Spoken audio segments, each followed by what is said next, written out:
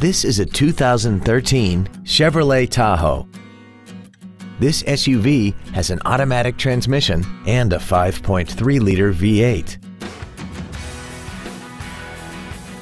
Its top features include XM satellite radio, a double wishbone independent front suspension, aluminum wheels, and traction control and stability control systems.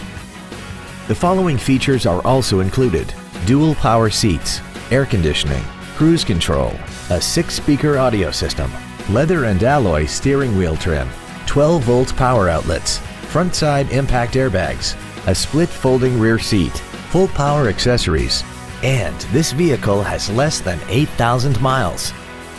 This vehicle is sure to sell fast. Call and arrange your test drive today.